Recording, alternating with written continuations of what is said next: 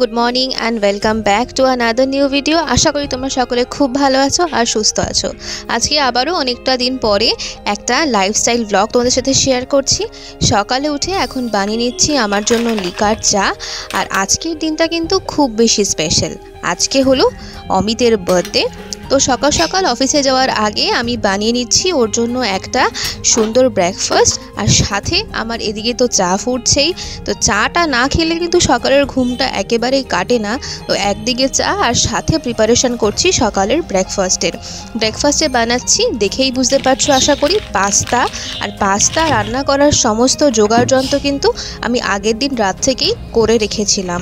যেরকম cheese pasta আর সাথে সবজিগুলো চপ করে নেওয়া এগুলো যদি অনেকটা করে রাখা হয় তাহলে কিন্তু রান্নাটা করতে খুব একটা বেশি সময় লাগে না। আর এইবারে আমি কিছুটা চিলি ফ্লেক্স আর অরিগ্যানো আনিয়েছি। আজ বানাবো হোয়াইট সস পাস্তা। তো তার মধ্যে এই অরিগ্যানো সিজনিংগুলো দিলে খেতে বেশ ভালোই লাগে। যতক্ষণে ঝটপট করে পাস্তাটা সেদ্ধ হচ্ছে ততক্ষণে আমি চা বিস্কিট দিয়ে খেয়ে নিচ্ছি। এই দেখো চপ করে রাখা সবজিগুলো ফ্রিজ থেকে বার করে নিয়ে চলে এসেছি। এবার এগুলোকে সামান্য একটু বাটারের মধ্যে সটে করে নেব। আর আরেক দিকে কিন্তু পাস্তার জন্য বানানো হোয়াইট সসটা সেটাও কিন্তু রেডি হয়ে গেছে। তো সমস্ত কিছু একসাথে মিশিয়ে দিলেই কিন্তু রেডি আমাদের white sauce pasta. Hello everyone good morning আর সকালের ব্রেকফাস্টটা বানিয়ে নিয়েছি। বানিয়েছি হলো আজকে পাস্তা চিজ পাস্তা তোমরা দেখলে। পুরো রেসিপিটা আমি শেয়ার করতে পারিনি, এখন ভীষণ তাড়াহুড়োতে রয়েছি। আর বেজে গেছে এখন ঘুরিতে সাড়ে নটা। আর আমার অফিসের টাইমিংও হয়ে গেছে প্রায়। সেজন্য ঝটপট করে জাস্ট রেডি হয়ে নিয়েছি। তো এবারে বেরোবো। আর সাথে একটা ফিশের প্রিপারেশন করেছি, সেটাও তোমাদের আসার পরে দেখাবো। তো এখানে পায়েস বাজার এগুলো করছে। তো চলো, এখন সকালবেলা আমি শুধুমাত্র ঘুম থেকে উঠেছে জন্য আস্তে আস্তে কথা বলছি। চলো দেখি, একটা ছোট্ট প্রাইস দেওয়া যাক। এটা হলো একটা, কালকে রাত্রেবেলা এনে এই ভিতরে গিয়ে গেছিলাম বাড়িতে কয়টা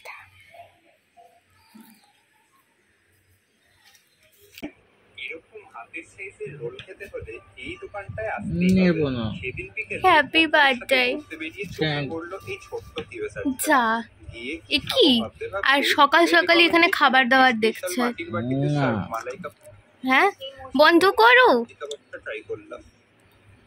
এই কাবাব ট্রাই করলাম ওই কাবাব ট্রাই করলাম সকাল সকাল। হ্যাপি বার্থডে একটুখানি থ্যাংক ইউ তো বলো। চকেটটা নিয়ে ঘুম থেকে উঠেই খেতে শুরু করে দিয়েছে। তুমি কি জানো তোমার জন্য কি কি রান্না হচ্ছে আজকে?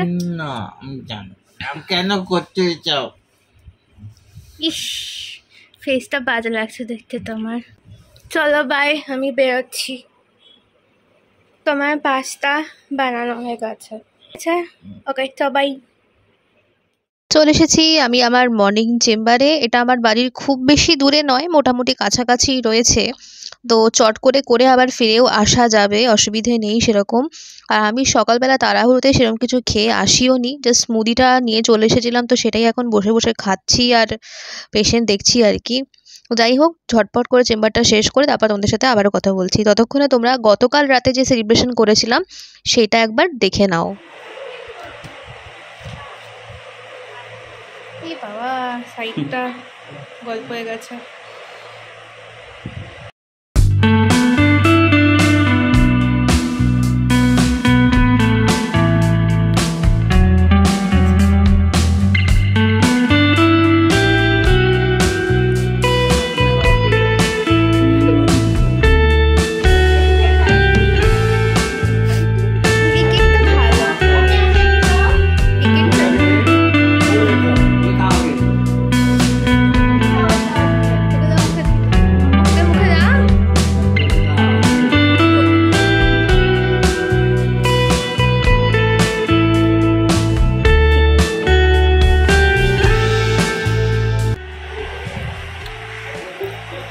কেক কাটছে, নিজেই খাচ্ছে।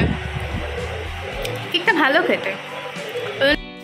চলে এসেছি আমি এখন বাড়িতে, আর বাড়িতে আসার পরেই দেখলে যে অমিত এখানে কেক খেতে শুরু করেছে। তো আগের দিন রাতের কেকটা আর কি এখন আমরা খাচ্ছিলাম। আর সাথে করে আমি কিন্তু লাঞ্চের যেটুখানি বাকি ছিল, সেটা প্রিপারেশান করতে শুরু করে দিয়েছি। এখানে করছি হলো গোল্ডেন ফ্রাইড প্রন আর এখানে মা দেখো এত রকম রান্না যেগুলো করে করা হয়েছে, সেগুলো সব এরকমভাবে এক জায়গায় স্টাক করে রেখে দিয়েছে আর কি।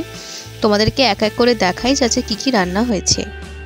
প্রথমেই হয়েছে এখানে দই কাতলা, যেটা অনুষ্ঠান বাড়ির স্টাইলে। এই রেসিপিটা আমি অলরেডি আপলোড করা আছে আমার শর্টসে তোমরা চাইলে একবার সেখান থেকে দেখতে পারো।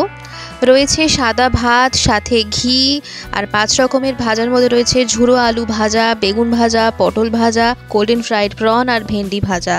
রয়েছে মুগ ডাল, সাথে অমিতের ফেভারিট মাটন দই কাতলা, সাথে স্যালাড পায়েস, আর মিষ্টি। ব্যাস, এই ছোট্ট করে আয়োজন করেছি। আশা করি অমিতের খুব ভালো লাগবে। তো সেটা নয়, রিভিউটাও পরেই দেবে।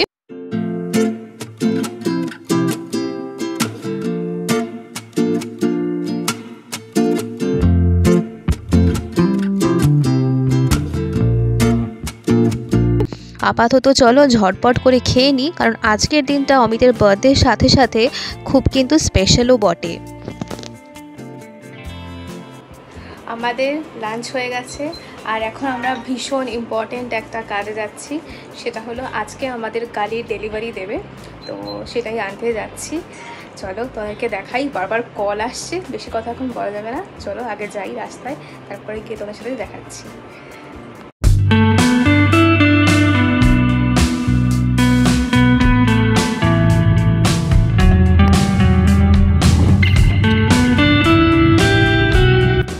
চলে এসেছি আমরা এখন গাড়ির শোরুমে আর আজকে যেহেতু ডেলিভারির দিন, তো সেই জন্য সমস্ত রকম ডকুমেন্টেশনে যা যা কাজকর্ম রয়েছে, সেগুলো বাবা আর অমিত মিলে করছে। আর দেখো, ও আজকে যেহেতু অমিতের বার্থডে সেটা ওরা জানতে পেরেছে, তো এখানে একটা ছোট্ট করে আমাদের জন্য একটা কেকও অ্যারেঞ্জ করেছে। বেশ সুইট একটা জেস্টার ওদের তরফ থেকে, বেশ ভালো লাগল এটা। আর চলো এবার তোমাদেরকে দেখাই আমাদের গাড়িটা, এই আউটসাইডে রাখা হয়েছে আমাদের গাড়ির ব্র্যান্ড হলো টাটা পাঞ্চ আর এটা হলো কালারটা বেশ সুন্দর একটা স্লেট মতো কালার আর এখন বাবার হাতে ওরা চাবিটা তুলে দিচ্ছে। এই তো একটা ছোট্ট একটা অ্যাচিভমেন্ট আমাদের জন্য। তো তোমাদের সাথে সেটাই শেয়ার করছি। তোমাদের কেমন লাগছে এই পুরো গাড়িটা একবার তোমাদেরকে দেখিয়ে দিলাম। অবশ্যই কিন্তু জানিও। আর নতুন গাড়িতে চেপেই আমরা আবার বাড়িতে ফিরছি এখন। অবশ্যই অমিত ড্রাইভ করছে। আপাতত তো ভালোই লাগছে। তো দেখা যাক পরবর্তীকালে কেমন কি হয়। এখন আমি কিন্তু ডাইরেক্টলি যাব হলো চেম্বারে আমার, কারণ এখান থেকে আমার চেম্বার সামনেই আছে। ব্যাস, চেম্বারও শেষ, এবারে যাচ্ছি বাড়ির দিকে। আর বাড়িতে যাওয়ার আগে অমিত বলল যে, চলো নতুন গাড়িতে যখন বেরিয়েছি, একটা ছোট্ট করে ড্রাইভে যাওয়া যাক। আর আরও একটা ব্যাপার, আমাদের কিন্তু গাড়িটা পুজো দেওয়া হয়নি। তো আমার মনে হচ্ছিল যে, আজকে যদি একটু পুজো দেওয়া যেত, খুব ভালো হতো। কিন্তু এতটা রাতে তো সেটা এখন পসিবল আর হবে না। তো ঠিক আছে, ওটা না হয় উইকেন্ডের জন্য তোলা থাক। আপাতত আমরা চলে এসেছি হলো প্রিন্সেপ ঘাটে। আর এখানে গঙ্গার ঘাটে সুন্দর হাওয়া খেতে খেতে নিয়ে নিয়েছি এক কাপ কফি।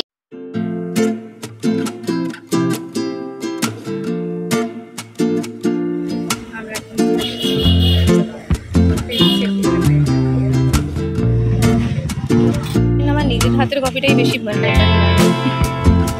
সিরিয়াস